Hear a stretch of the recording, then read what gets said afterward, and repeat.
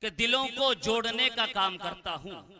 دلوں کو جوڑنے کا کام کرتا ہوں۔ میں پھر سے آپ سب کو سلام کرتا ہوں۔ السلام علیکم ورحمت اللہ وبرکاتہ۔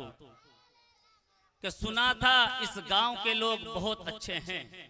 سنا تھا اس گاؤں کے لوگ بہت اچھے ہیں۔ لوگ گھروں میں ہیں، صرف جلسہ میں بچے ہیں۔ آئیے حضرات، اعلان سر کا یہی کام ہوتا ہے کہ سب سے پہلے میں یہ اعلان کر دوں کہ آپ حضرات کشمش میں نہ رہیں کہ دل خیر آبادی صاحب پہنچے ہیں کہ نہیں پہنچے ہیں۔ جناب، دل خیر آبادی تشریف لا چکے ہیں۔ باضابطہ اب میں پروگرام کو شروع کرنے جا رہا ہوں کہ میں اکیلا ہی چلا تھا جانب منزل مگر۔ تھوڑا سا ایکو ڈال دیجیے گا۔ کہ میں اکیلا ہی چلا تھا جانب منزل مگر۔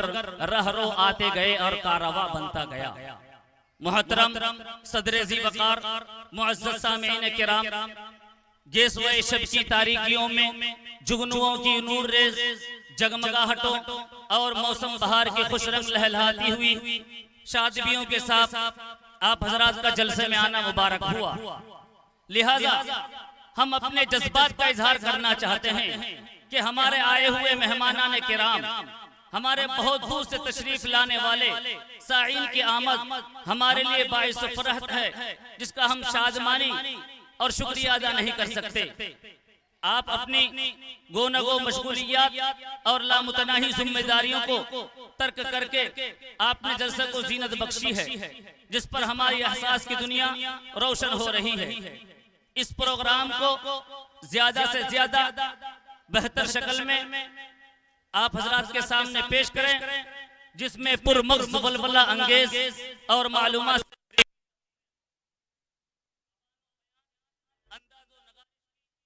بلندیوں کو پہنچے ہوئے تاریخی اور وقتی مسائل بھی ہوں اور نعت و نظم کا پرکیف منظر جن جن کا جمال علم حسن عمل ایک ایسا آب جو ہے جس کا شیری شفاف پانی دلوں کی باد سموم سے جھلسی ہوئی کھیتوں کو سبززار اور مرغزار بنا دیتا ہے۔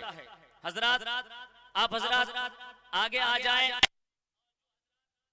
ابھی تک چائے کی دکانوں میں ہیں ادھر ادھر کھڑے ہیں وہ آگے آ جائیں۔ باضابطہ پروگرام شروع ہونے والا ہے۔ اس دیار میں پہلی بار میری حاضری ہوئی ہے۔ اور یہاں کے منتظمین حضرات کافی محنت میں لگے ہوئے ہیں۔ تو حضرات گرامی جن کا جمال علم حسن عمل ایک ایسا آب جو ہے کہ جس کا شیری شفاف پانی دلوں کی باد سموم سے جھلسے ہوئے کھیتوں کو سبززار اور برغزار بنا دیتا ہے۔ اس سے میری مراد جامع علم عرفہ ادیب با کمال شہنشاہ فکر و تدبر۔ جناب حضرت جناب حلاج ماسٹر شفیق احمد صاحب مدراپور ہے۔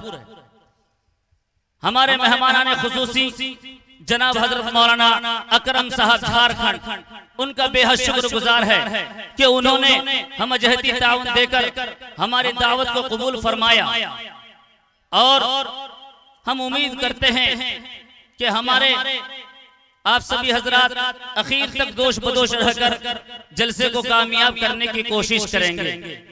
اور اگر خدا نخواستہ یہ جلسہ ناکامی ہوتا ہے تو ہم اپنی کمی اور کوتاہی کو سمجھیں گے۔ اور اگر یہ جلسہ کامیاب ہوتا ہے تو اس کا سہرہ آپ کے سر ہوگا۔ کہ شب گریزہ ہوگی آخر جلوے خورشید سے۔ کہ شب گریزہ ہوگی آخر جلوے خورشید سے۔ یہ چمن معمور ہوگا نغمہ توحید سے۔ محترم بزرگوں اور پرجوش نوجوانوں دیگر سیرت کے جلسوں اور دینی اجتماعوں کے طرح آج کا بھی یہ جلسہ ایک خاص مقام اور وقار رکھتا ہے۔ یہ اصول مسلم ہے کہ ہر باوقار شے کے لیے بکمال شخصیت عظیم المرتبت انسان قائد ہونا چاہیے۔ کیونکہ ٹوٹے ہوئے دلوں کو بھی حوصلہ چاہیے۔ کیونکہ ٹوٹے ہوئے دلوں کو بھی حوصلہ چاہیے۔ کارواں کے لیے بس مقتدہ چاہیے۔ حضرات گرامی تو آئیے ہم بھی اکابرین امت کا یہ آئین عمل ہے کہ ہر محفل ہر جلسہ ہر بزم کے آغاز سے قبل ایک ایسی جامع اور علو العظم ذات کا انتظام و کر لیا کرتے ہیں جس کے تحت قیادت و سیادت وہ پروگرام کو حسن انتظام کے ساتھ ابتدا سے انتہا کی سرحد کو عبور کر جائے۔ تو آئیے، ہم بھی اپنے بزرگوں کی اتباع کرتے ہوئے قبل ازی کے اجلاس کا آغاز ہو۔ ایسی شخصیت کا انتخاب کرتے ہیں کہ جن کی روح اور آپ کی روح کی تسکین کا سامان فراہم کر سکے۔ کہ آ جاؤ، ختم ہو گئے دن انتظار کے۔ آ جاؤ، ختم ہو گئے دن انتظار کے۔ دورے خزا گیا، دن آئے بہار کے۔ حضرات گرامی اسلف صالحین مدبرین مفکرین مصنفین تمام بزرگوں کا ہمیشہ یہی طور طریق رہا ہے کہ جب بھی کسی چیز کا آغاز کرتے ہیں تو سب سے پہلے وحدہ لا شریک لہو کا تعریف و توصیف کرتے اس کے بعد پیارے نبی صلی اللہ علیہ وسلم کی تعریف و توصیف میں زبان کو کچھ حرکت میں لاتے۔ حضرات وہ کون ہے راہ میں جو لاچار بیٹھے ہیں؟ وہ کون ہے راہ میں جو لاچار بیٹھے ہیں؟ مسافر ہے سفر کرنے کی ہمت ہار بیٹھے ہیں۔ مسافر ہے سفر کرنے کی ہمت ہار بیٹھے ہیں۔ ارے غلام مصطفیٰ ہوتے تو آ جاتے یہاں اندر۔ ارے غلام مصطفیٰ ہوتے تو آ جاتے یہاں اندر۔ الگ بیٹھے ہیں، لگتا ہے کہ چوکی دار بیٹھے ہیں۔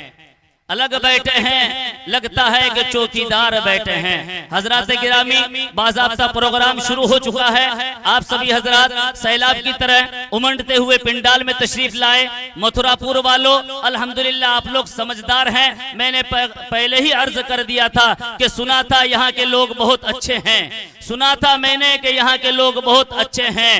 لوگ گھروں میں ہیں اور جلسے میں صرف بچے ہیں۔